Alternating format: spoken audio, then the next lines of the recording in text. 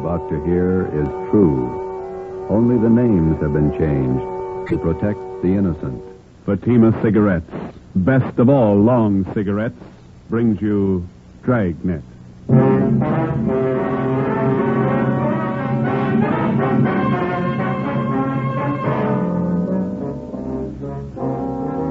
You're a detective sergeant. You're assigned to homicide detail. Attempts have been made on the life of a notorious hoodlum in your city. His death could mean an open gang war. Your job, stop it. If you want a long cigarette, smoke the best of all long cigarettes. Smoke king size Fatima. Fatima is the long cigarette which contains the finest Turkish and domestic tobaccos superbly blended to make Fatima extra mild. And that's why Fatima has a much different, much better flavor and aroma than any other long cigarette. That's why Fatima has more than doubled its smokers coast to coast. So enjoy Fatima, the best of all long cigarettes. It's wise to smoke extra mild Fatima. It's wise to smoke extra mild Fatima.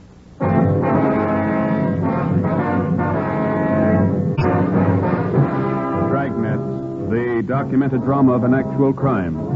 For the next 30 minutes, in cooperation with the Los Angeles Police Department, you will travel step by step on the side of the law through an actual case from official police files. From beginning to end, from crime to punishment, Dragnet is the story of your police force in action.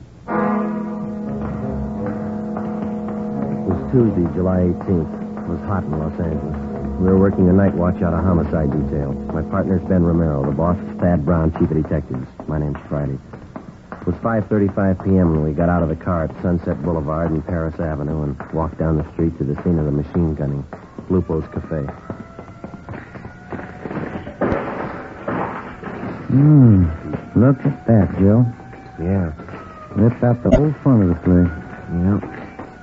Hi. Yes, sir. Romero and Friday, homicide? Oh, I'm Sheldon from Hollywood Division. Taylor and I picked up the call in our car. Nobody hurt. What's the story? Just a second. It's Captain Elliott. Hold it a minute, will you, Sheldon? Hi. Hi, Captain. Hmm. Not much of it left. Sheldon here was in the cruiser car. He'll fill us in. All right. The intended victim was Gus Valentine. He's over there with Taylor, my partner. Yeah. Mm-hmm. According to Valentine, he stopped in the restaurant here for a drink. He was in there about 15 minutes, came out to hail a cab, and this car came around the corner. Down there, Sunset and Clayton. They whipped by close to the curb and opened up. Mm-hmm. There's a laundry there on one side of the place and a dry cleaning joint on the other side. Yes, sir, miracle, but nobody was hit. You get anything on the car? Nothing so far happened so fast nobody got a good look at it. How about Valentine? Does he have any idea? I don't know. Taylor's getting the information. Nobody saw anything? Any witnesses? Uh, yes, sir. A couple. Uh, newsboy Tim Benson, the lady in the dry cleaning place, Agnes Rebart. Mm-hmm. Neither of them got a license number. Okay. I'd Like to talk to Valentine. Uh, Sheldon, keep the area clear, will you? Lab men are on their way out. Yes, sir. Come on.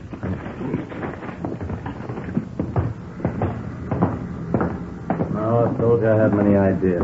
Green Ford sedan, that it? Yeah. Elliot, Central Homicide. Yes, sir. This is Mr. Valentine, the intended victim. Yeah. This is Sergeant Friday, Sergeant Romero. Sergeant Friday, how are you? Fine. It's been a long time. Finally got out of the uniform, huh? Seven years ago. Who was it, Gus? If I knew, I'd tell you. I don't like being shot at. Go sit in the car. This way, Valentine. You want to get him back? All right.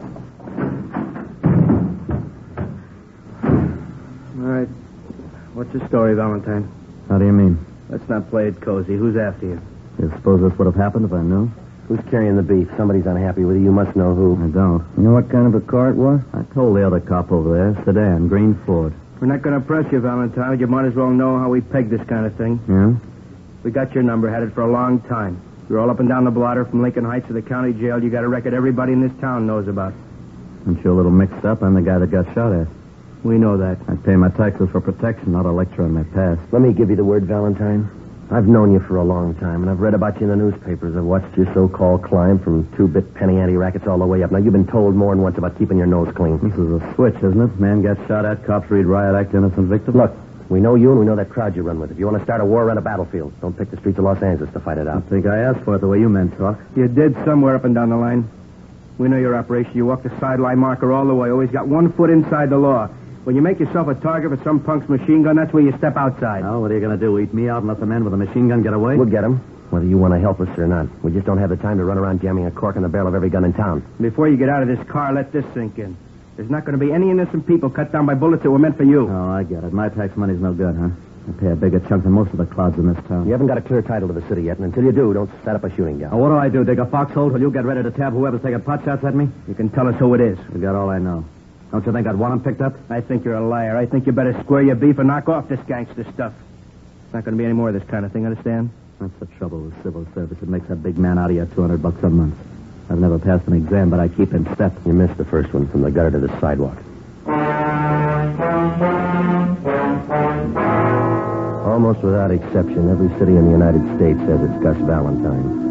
These men remain out of custody not because of any lack of law enforcement, but because of their ability to hide behind the laws which are designed to protect the innocent and use them to their own advantage. They operate allowing only the thinnest margin possible between themselves and the state penitentiary. We drove back to Central Division. At 6.18 p.m., we were called to the chief of detective's office. He wouldn't give you anything, huh? Not a thing. Usual line of smart talk. Who's ever after him meant business. Our storefronts were a mess. Well, they won't quit now. Just a minute. What's that intelligence number? 2821. Oh, yeah.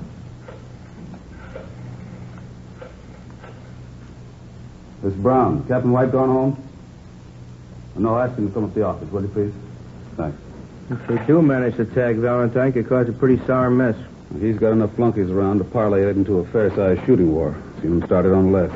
Was there any chance of pulling Valentine in until things simmer down? No chance. We've got nothing on him. Nothing we can prove. We've got a few boys close to him. Maybe one of them could tell us. Hmm, same two lawyers work for all of them.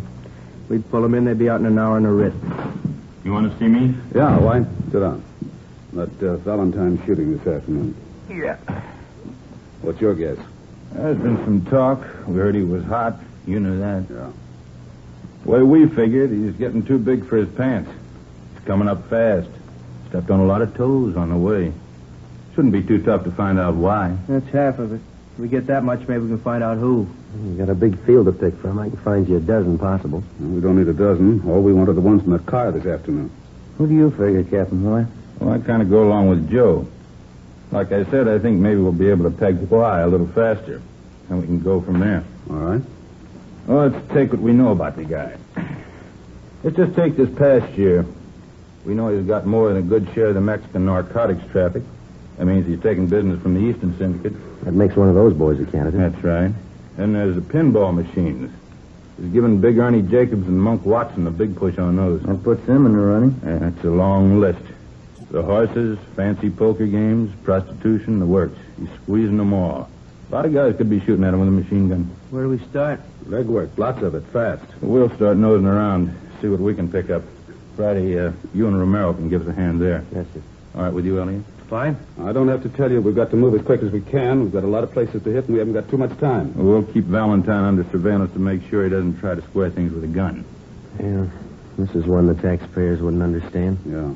Trying to keep a guy alive that'd be more dangerous dead. Wednesday, July 19th. Ben and I started making the rounds to find out why someone was out to get Gus Valentine. Captain was right. The list of his enemies was long. For two days, we talked to gamblers and bartenders at the usual hangouts. The few slim leads we picked up led nowhere. Saturday, July 22nd, we met with one of Ben's informants, a bar boy at a cafe out on Santa Monica Boulevard. That's him over there at that table. Oh, yeah. Jerry? How are you? Hiya, Ben. Grab a chair. You know my partner, don't you? Sure, sit down, Joe. Hi. Want a beer? No, no, thanks. We're working. Coke? Okay. One's enough. We'll Here you split go. Good and cold.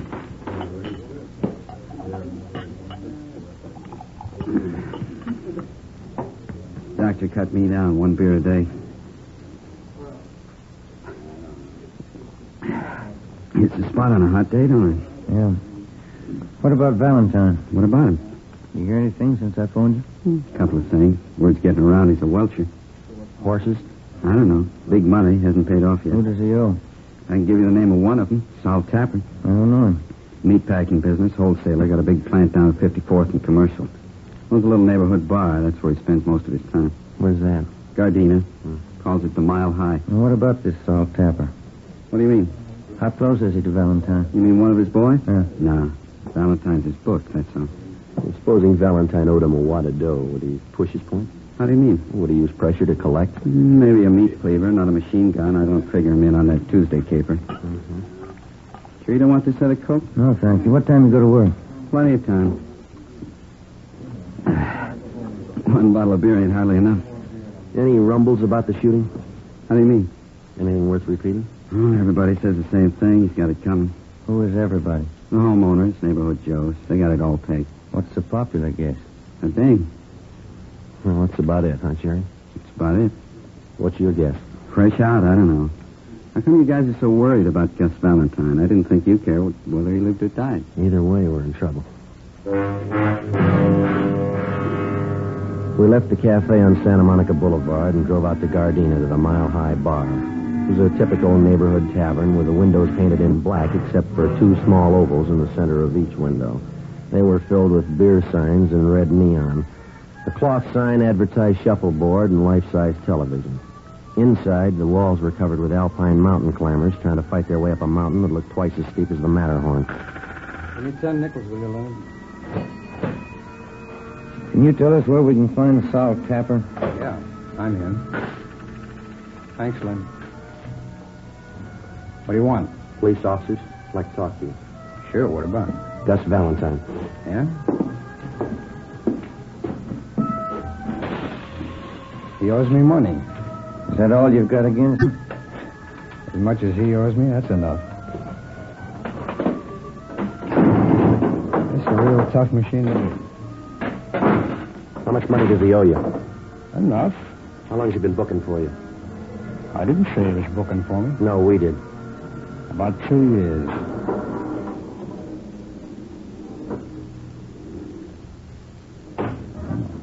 Come on. Get it. Ah. Four thousand on the first ball. I gotta do better than that. Where were you Tuesday afternoon? At the packing house. Can you prove it? Would I say it if I couldn't prove it?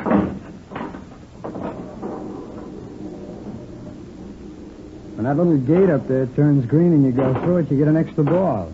It's red, it doubles your score, but it's real tough to get in there. How long has Valentine owed you money? Oh, a little over a week. When did he say he'd pay you? He didn't say. Said he was trying to raise the dog. You're the only one he owes? No. Hmm.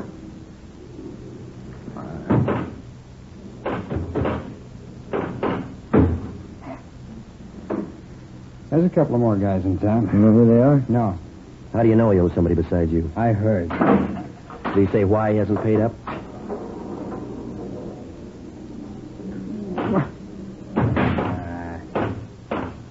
Uh, what'd you say? Did he say why he hasn't paid up? I told you. He said he was trying to raise the money. You sure you haven't tried to put the bite on him? Sure I have. Sure I have. I want the dog. But I didn't gun him. Somebody did. Yeah, I know. I know. It wasn't me. You had a reason. A lot of people. Yeah. We're looking for the one with the machine gun. Well, I can't help you there. Ooh, come on. Oh. Get in there. Hey, hey, look at that. Free ball. 26,000. That's a real tough machine to beat. Where did you say you worked Tuesday? At my packing plant, 54th and Commercial. Okay. How long have you known Gus Valentine? About four years. I met him at a party out in Hollywood. First time I've ever known him to Welch. Mm-hmm.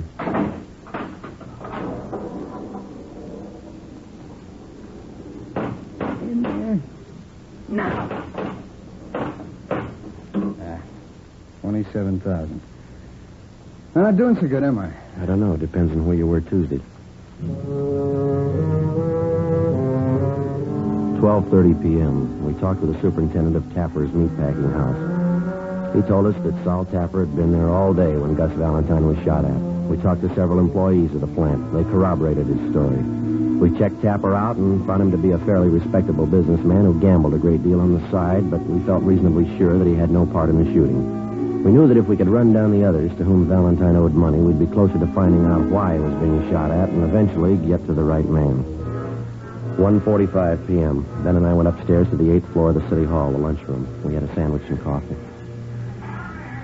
Too close to dinner to have a piece of that pie, isn't it? Yeah, I'd say so. Hand me another napkin, will you? Yeah. Here. Thank you. Think you'd do any good to talk to Valentine again? Maybe, I doubt it. He's not going to tell us anything. I figure we're on the right track. A lot of reasons why he might be a target, but this welching business, that's new to him. Could be. You Sergeant Friday? That's right. Telephone. Wait a minute, I'll go with you. I'm finished. No, you got the check. I'll get the tip. Oh, all right.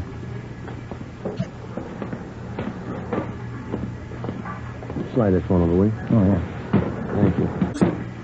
Friday. Elliot, come down to Chief Brown's office right away. Yes, sir. Let's go.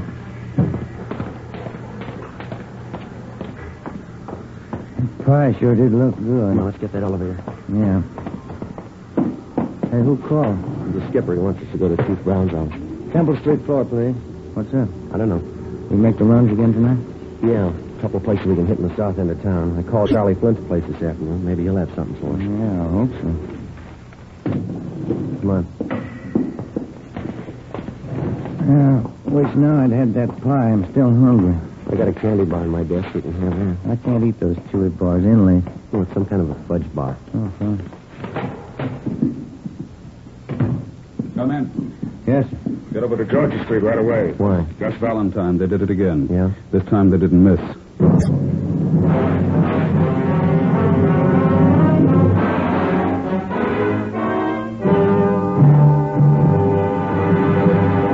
Here, step by step, are the reasons why Fatima has more than doubled its smokers from coast to coast. Step one. The name Fatima has always stood for the best in cigarette quality. Step two. Long cigarette smokers discover Fatima has a much different, much better flavor and aroma. Step three. Long cigarette smokers find Fatima extra mild.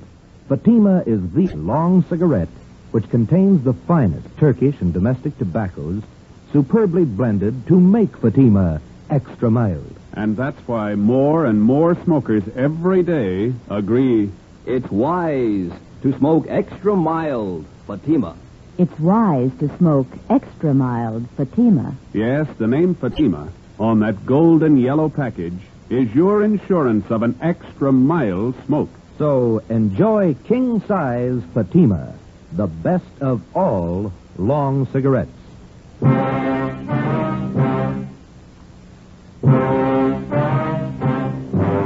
Saturday, July 22nd, 5.30 p.m. We drove to the Georgia Street Receiving Hospital and went up to the third floor. We talked to the doctor in charge, who told us that two slugs had been taken from Gus Valentine's right leg and one from his right shoulder. They had been marked for identification. He was in fair condition. We talked with the patrolman who made the ambulance follow-up. They told us Valentine had been shot as he entered his apartment house garage. There were no eyewitnesses. We went in and talked to Valentine. You told the officers that the guy who shot you was on foot. Yeah, Who was it? couldn't tell. You haven't any idea who it could have been? No, You don't expect us to swallow that again, do you? I don't care either way. Why don't you pay up what you owe? What do you mean? You owe some big money you haven't paid off. Where'd you get that? That's the word going around. Looks to us like you either pay up or get shot at. Did I ask for advice? No, and here's something else you didn't ask for. Twice in one week you've been mixed up in shooting scrapes. We told you the city doesn't belong to you. I don't claim ownership. Now listen, we've been over this before, and this is the last time. Don't push us any courage. We know you talk big and you haven't got the guts to go along with Yeah, it. sure. Now come on, who's shooting at you? I know your phone number. I'll call you if I need help. I'll take care of this myself. Valentine, the first time you pull a cap gun, we're going to sit on you. If there's any retaliating, we'll do it. I'm tired of sitting like a duck on a pond. Then tell us who's gunning for you. That's between me and them. I'll meet them when I'm ready. All right. We're through talking. When we get to the bottom of this and find out who's been doing all the shooting, we'll have an answer. And if we find out you've been withholding evidence, it's going to go hard for you, understand? Yeah, sure. Now leave me alone. Come on, Jim. Yeah. I better call the office.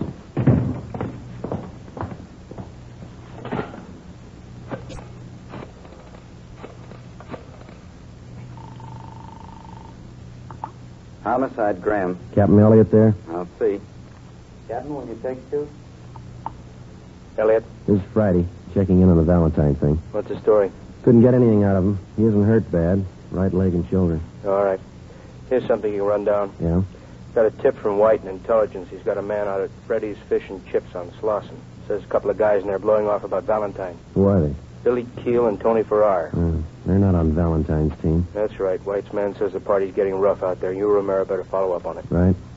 Another thing, if it looks like anything, you better bring him in for questioning. Okay, Check me when you get in. right. Let's go. What is it? Keel and Farrar. Skipper wants us to pick him up and bring him in for questioning. What do they know about the shooting? They know enough to talk about it. 7 p.m. We located Freddy's Fish and Chips place on Slauson near Montgomery Street. A dozen or so tables at the back of the restaurant were already taken with the overflow lined up two deep at the bar. The man from intelligence detail was down at the far end of the steam table nursing a cheese sandwich. He motioned us over and pointed out Billy Keel and Tony Farrar. They were sitting at one of the tables along with four other men drinking Boilermakers and eating French fried potatoes. Ben and I made our way through the crowd toward the back tables. Sorry. Sorry. Pardon me. Can I get through here, please? All right. So it figures. Done it? You, Billy Keel? That's right. Which one's Tony Farrar? He's getting a beer. What do you want? Police officers want to talk to you and Farrar downtown. What's the matter? I'd like to ask you a few questions. You want to get your hat? You got any questions, you can ask them here. Hey, Vic, how about buying around? Come on, Keel, let's go. I got nothing to tell you now. Let me alone. There's two ways to go downtown, the hard way and the easy way. Let's take the easy way. All right. This way. Okay.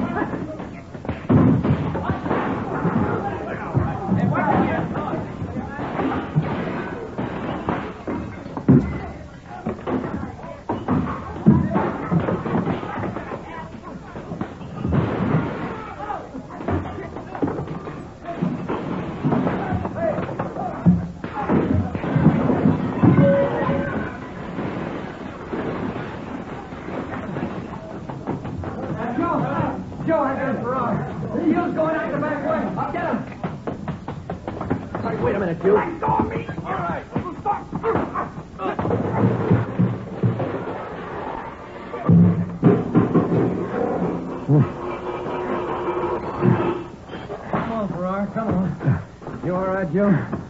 Yeah. You're bleeding pretty bad. Yeah, I know. Let's get him to the car. Look at your suit. It's ripped to pieces. My wife's gonna kill me.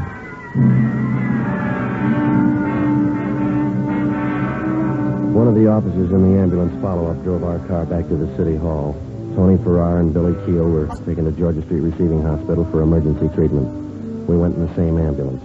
Ben had a broken index finger, a two-inch cut in his scalp, and a deep gash in his right thigh. I had five stitches taken in my upper right arm and three above my left eye. My right eye was swollen shut. The man from intelligence detail was taken to the P&F ward to be treated for a minor concussion. It was 9.15 p.m. when we got back to the city hall, the interrogation room. How about it, Keel? What? What do you know about the Valentine shooting? I don't know anything about it. You're worried. About what? You tell us. You started that fight out there. I didn't see any reason to go downtown. Does Valentine owe you any money? No. You've been talking a lot. Any law against that? Why'd you shoot Gus Valentine? I didn't shoot him. Can you account for your time Tuesday afternoon? I don't have to answer that. Where were you this afternoon? My lawyer's coming in. Ask him. How much money does Valentine owe you? Keel? Ever see this before? I don't even know what it is. You found that machine gun in your apartment. Doesn't belong to me. We got your car downstairs. Green Ford sedan. Doesn't belong to me. White slip's got your name on it. Here's something else with your name on it. Two chits for $750 signed by Gus Valentine. Money he owes you on the horses. You shot him, didn't you? I don't see how you can prove it. I'll tell you how. We ran this Tommy gun through the crime lab. We dug the same slugs out of the front of those stores where you tried to kill Valentine. Your prints are all over the gun. How much more do you want? It's not my gun. All we gotta do is find the 45 you used this afternoon and match it up with the slugs we dug out of Valentine's leg, and mister, you'll be away for a long time. All right. We used the Tommy gun. We didn't hit him. Didn't try. Only wanted to scare him. I got tired of waiting for my dough. I got no use for a welcher. What about this afternoon? No, sir. Me and Farrar didn't have nothing to do with that. I'll take the machine gun rap, but it wasn't us this afternoon. Elliot, Friday, step outside a minute. Yeah. Valentine. Yeah? Somebody just blew his hospital room full of holes. It took us 17 minutes with red light and siren to get to the Ferndale Sanitarium where Gus Valentine was recovering from his gunshot wounds. Three cruiser cars were out front when we pulled up. We went to room 12 in the west wing. There's the doctor, Joe. Yeah. How is he, Doctor? He was dead when we got in here. He had a private nurse. Shot her, too. Dead. Anyone else hurt? It was visiting hours. Some woman was in there talking to him. She got hit. We're treating her down in the emergency room. Uh, appreciate it, Doctor, if you keep your staff out of the room here until we finish our investigation. Yes, sir. Thank you. Let's have a look inside. Mm-hmm. Look at that. Mm. He didn't fool this time. Too bad he wouldn't give us more help. Yeah. We're no worse off than we were. We still have to find out who it was without him. I hope we can get to him before Valentine's crowd starts shooting back. We got to. Anyway, this cancels out his debts. You know his record. Yeah. He owed a lot more than he could ever pay.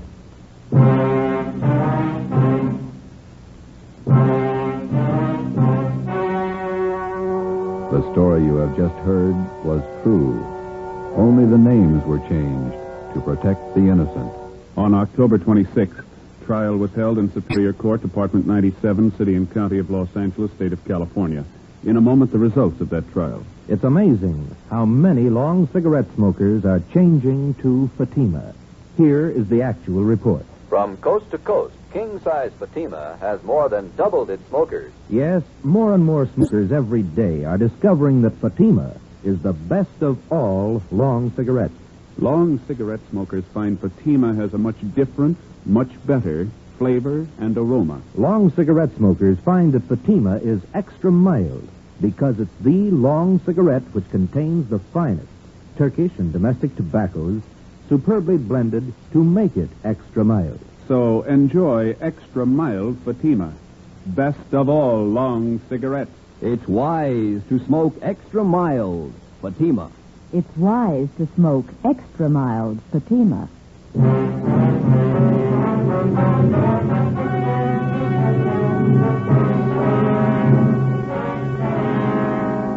Billy Keel and Tony Farrar were tried and convicted of assault with intent to commit murder. They were filed on by the federal authorities, Bureau of Alcohol and Tax Unit, for the illegal possession of a machine gun and were found guilty in federal court.